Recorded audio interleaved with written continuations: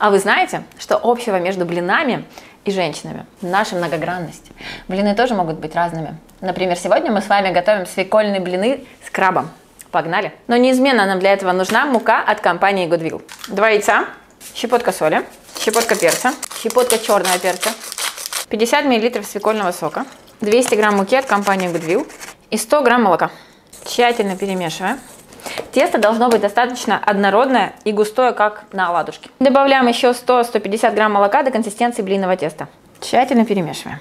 Растительное масло 2 столовые ложки. Блинная сковорода должна быть очень хорошо разогрета.